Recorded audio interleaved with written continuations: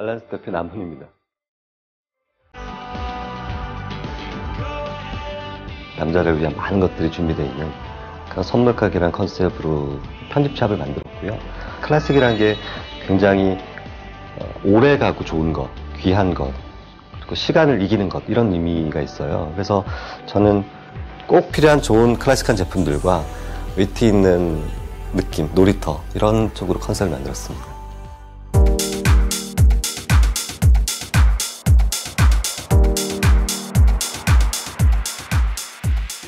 경기와 상관없이 한국 남자들의 취향이 상당히 올라간 건 사실이고 사실 뭐 인터넷도 있고 뭐 했던 레옹 잡지도 큰 역할을 했고 그러니까 사람들이 소비가 뭐 정체돼 있는 건 사실이지만 취향은 많이 올라간 거 사실은 조금 더 까다로워지는 면도 있고 그러니까 전반적인 평균 평균이 많이 올라간 느낌이 좀 있어요.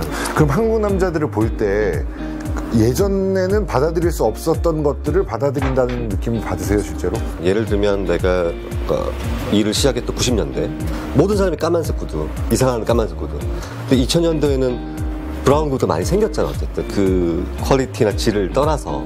사람들이 그렇게 수용한다는 거 구두를 수용하고 또 바지를 막 줄줄줄줄 이렇게 막 땅을 끌지 않는 그 정도로 변해간다는 것 자체도 그거는 큰 진보라고 생각하고 아쉬운 점은 뭐 기업들의 드레스 코드가 너무 이제 캐주얼로 가다 보니까 네네. 그러니까 수트를 입으면 아, 그러니까 어디 가? 뭐 이렇게 무슨 일 있어? 뭐 이, 이런 흐름. 거꾸로 다시. 어, 예. 그런 흐름이 조금 아쉬운 거. 저는 여름이 다가오는 햇살이 좀 좋아지는 계절이 되면 흰 재킷을 자주 입어요. 그러니까 뭔가 기분 전환이 되는 것 같고 그 고등학교 친구들을 만약에 만난다. 그러면 이흰 재킷은 입고 가면 약간 놀림감 될 것 같긴 해요. 이 정도로 칼라를 받아들이는 것도 사실은 큰 변화고 남자들이 무슨 칼라를 입으면 안 되는 것처럼 그린색이든 뭐 발- 붉은색이든 그런 거 이태리 출장을 워낙 많이 가니까 가서 이제 느끼는 바는 거기서는 누가 옷을 잘 입으면 칭찬을 해줘. 그러니까 모르는 사람들도 내가 동양인인데 어떤 사람이 와가지고 어 너 참 멋있게 입었어 잘 입었어. 축하해. 막 이렇게 얘기하는. 그러니까 그 사- 상대를 평하는 태도 이런 것들이 좀 우리가 좀 바꿔야 될 그러니까 우리가 그 전에 새로운 브랜드나 옷이나 복장을 소개했다면 앞으로 그런 애티튜드나 아, 그런 것도 또 새로 소개해야 되지 않을까 그런 마음 자세 상대를 대하는 배려 아, 그거 좋네요. 멋진 옷을 입은 사람을 보면 아 정말 멋있다. 아 잘 입었다. 그 충분히 평가를 좋은 평가를 받아야 되는 그런 문화를 좀 무슨 어떤 운동을 할까 우리가 그럴까요? 돈 되면 캠페인 하면 좋을 것 같아요.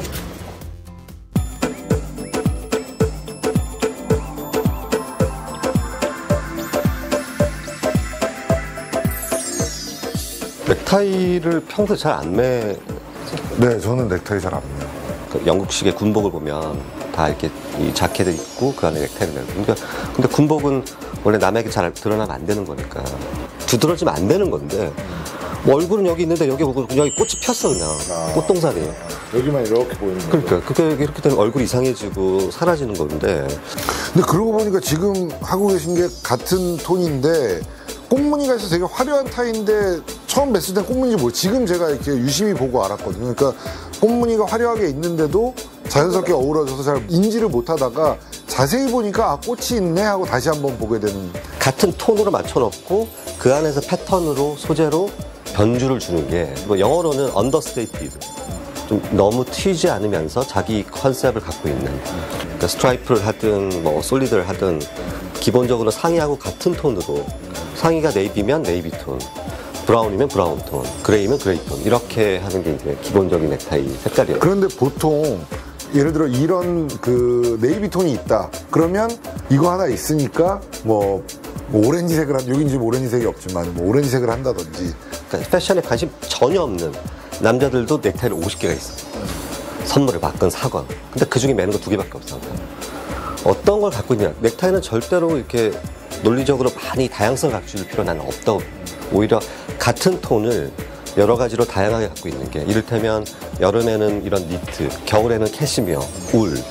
그러니까 같은 네이비 톤을 여러 가지 소재로 갖고 있는 게 나는 훨씬 더 활용도가 높다고 보고 자 그러면 지금 이 영상을 보고 계신 분들 중에 제가 볼 때 95%가 오렌지색 넥타이를 가지고 계세요. 그러면 그 오렌지색 넥타이는 같이 맞춰 입기 위해서 오렌지 톤의 수트를 사야 되나요? 아니면 어떤 경우에 그걸 소화하면 좋을까요? 좀 즐거운 날에 이를테면 회식이 있거나 파티가 있거나 뭐 재혼을 하거나 뭐 재혼? 재혼 뭐 결혼이나 재혼이나 즐거운 일이 있을 때 좀 그런 거 쓰는 것도 좋겠다. 그러니까 V존은 강조하는 게 아니라 오히려 어, 두드러지지 않게 V존을 강조하지 않음으로써 사람의 인상이 훨씬 더 좋아진다. 이렇게 되는 거예요.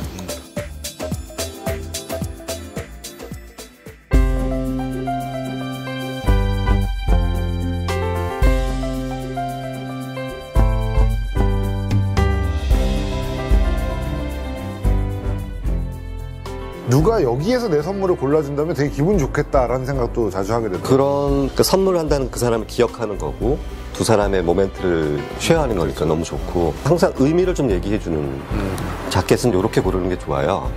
어, 이 구두에는 이런 게 좋고요. 다리를 꼬았을 때 속살이 안 드러나니까 양말 길이는 이 정도 좋아요. 눈에 탁 띄는 게 아니라 의미를 알고 선물하면 훨씬 더 나는 중요하다고 생각하고 아까 우리가 이제 attitude에 대한 캠페인을 하자 뭐 이런 얘기를 했는데 그게 이런 매장에서 얘기할 때는 가르치려고 든다라고 생각할 수도 있을 것 같아요. 누군가를 가르쳐 주는 게 아니라 좋은 생각을 서로 나눈다는 거 이런 의미로 좀 패션을 바라보는 것도 내가 스스로도 또 중요하게 생각할 점이고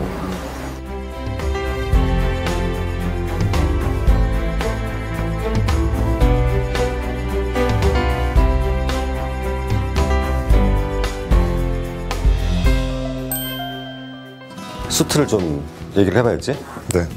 수트를 평소에 입나?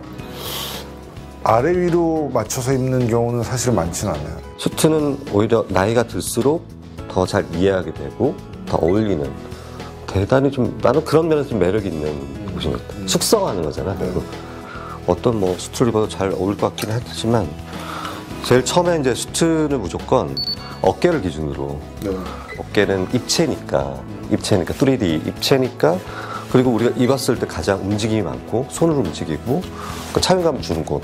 그 옷이 커지면 얼굴이 작아 보이고 이게 작으면 얼굴이 커 보이고 그러니까 비율을 거의 다 결정하는 곳이기 때문에 그럼 저는 제 어깨보다 두 사이즈 큰 거를 입으면 안 되나요? 얼굴이 작아 보이고 싶어서 그건 안 돼. 그건 뭐 다시 태어나야 돼 할 수 없어. 내가 이제 옷을 입을 때는 눈을 감고 옷을 입어보는데 이 컬러나 이 패턴에 현혹되지 않고 내가 정말 어깨가 편한지 그 어깨는 그냥 금세 말을 하잖아. 그러니까 셔츠가 크, 면 불편함이 없거든 솔직히. 네. 니트가 커도 불편함이 없는데 이 수트의 자켓은 불편하면 안 되니까 입었을 때 그리고 안에 셔츠가 이렇게 밀려오니까 음? 자 이렇게 잠궜을 때 어깨가 무슨 말을 하는지 어깨가 편한지 불편하면 아무리 좋은 옷이라도 이건 자기 옷이 아니고 어깨 어깨는 너무 편해요. 뭐 걸리는 게 없어요. 한 두 사이즈 정도 컸으면 좋겠는데.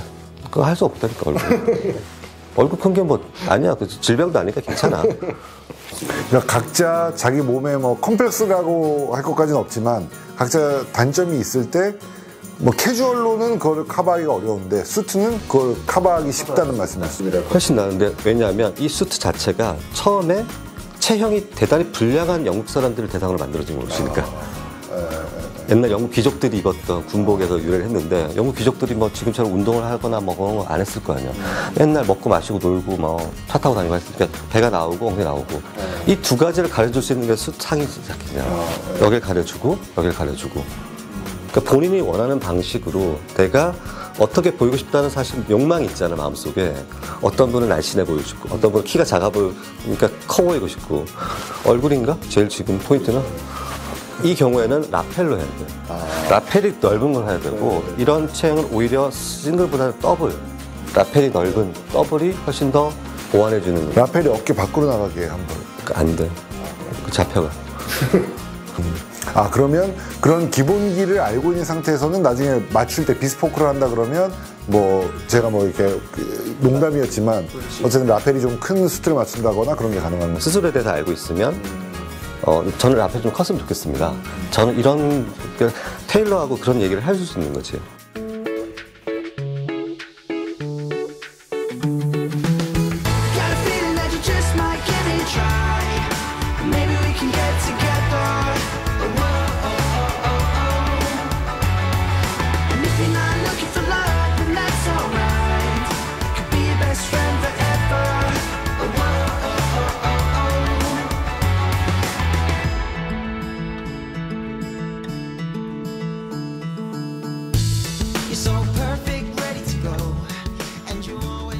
지금 이 옷이 라펠이 넓기 때문에 훨씬 더 안정감이 있고 본인의 옷 같은 느낌이 들고 어, 저는 지금 딱 입었을 때 아주 마음에 듭니다. 그 라펠이 넓기 때문에 훨씬 더 보완이 되는 거지.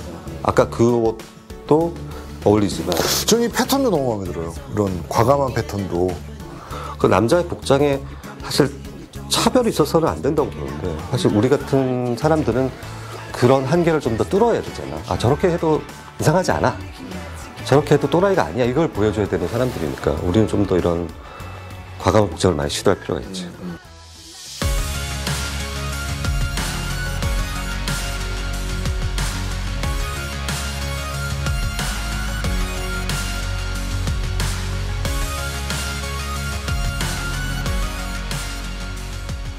어, 옷을 살 때 돈보다 센스가 중요하다고 생각을 해요. 비싼 옷을 사면 누구나 멋져질 수 있다? 아닙니다. 아니에요. 절대 아니에요. 그런데 센스가 있으면 그 옷이 비싼 옷이건 저렴한 옷이건 간에 멋있어질 수 있거든요. 물론 돈이 있으면 편리하죠. 좀 더 간편한 것은 사실이지만 돈을 쓴다고 해서 무조건 멋있어지진 않아요. 그것을 어- 얼마나 센스 있게 적재적소에 활용하느냐죠. TPO라는 게 아주 중요해요. 어떨 때 어떤 옷을 입느냐. 그런 것들을 가려내는 것은 결국 본인의 센스인 거죠. 그런 센스를 키우는 것도 그 각자가 가져야 될 지금 이제 21세기를 살아가는 남자면 각자가 가져야 되는 덕목이라고 생각을 해요.